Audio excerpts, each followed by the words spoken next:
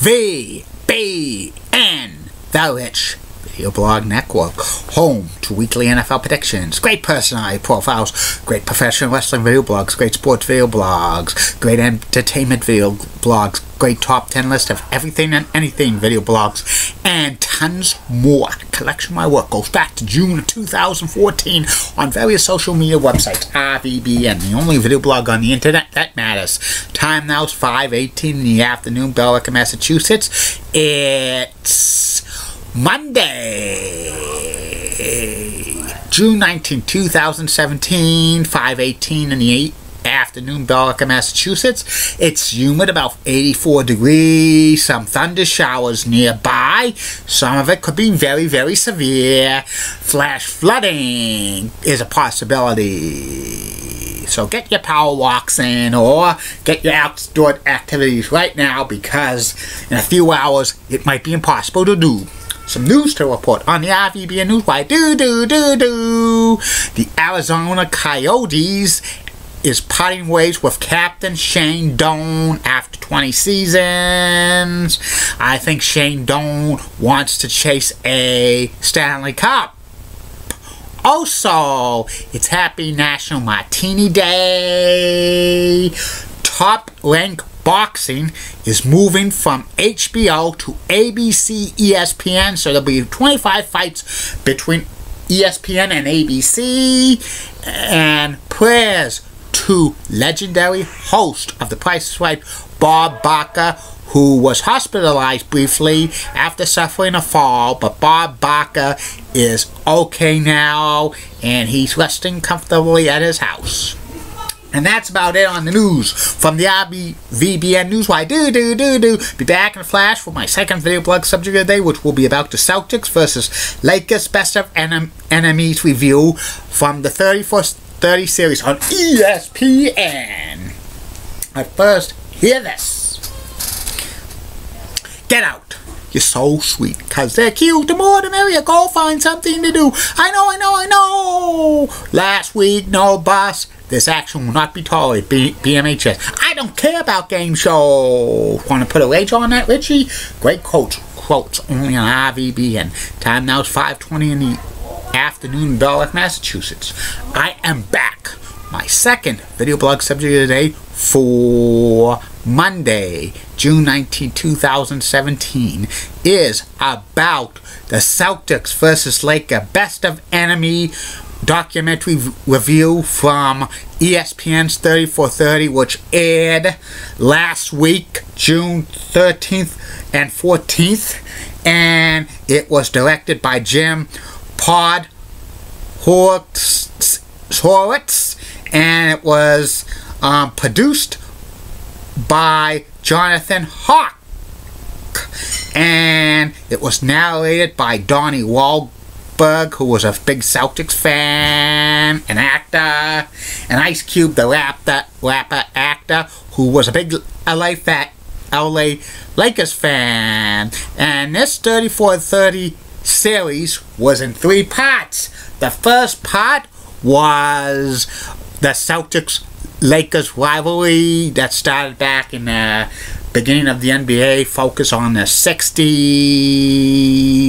and eventually it focused on the 70s with the Lakers Celtics di dynasties and the early 80s with like the Lakers and Celtics on meeting um, before meeting the NBA Finals in 1984. Second part of Celtics versus Lakers Best of Enemies was the 1984 NBA Finals, all seven games, uh, which was an hour.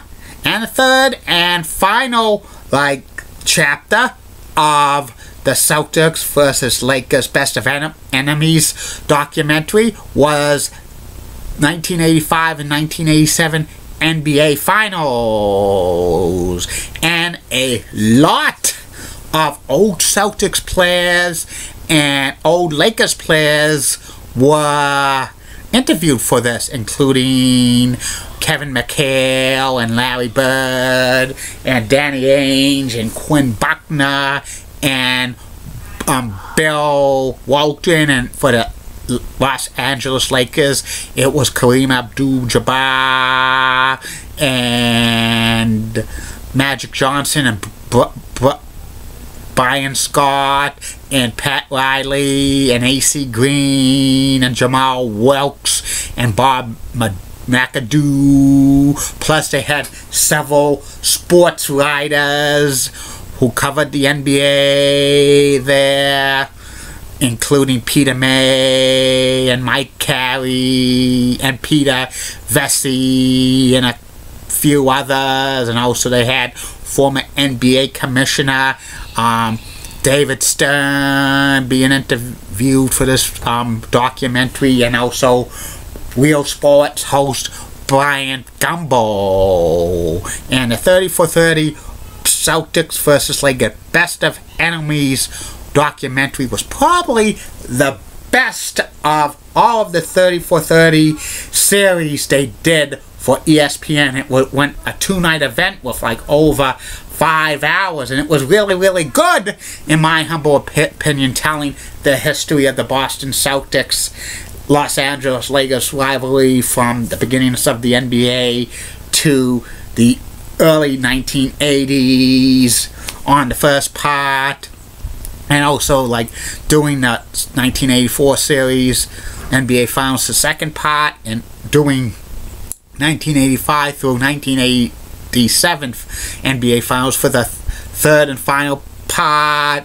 They also had archived clips of the games on um, ABC and CBS. It was pretty, pretty good.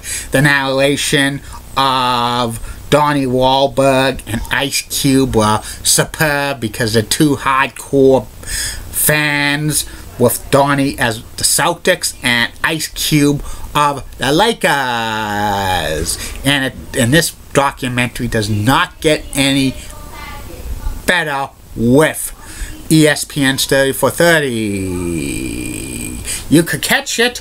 They rerun it a lot of times. They're going to probably rerun it several times over the summer on ESPN. And also you can catch it on demand or on the ESPN app.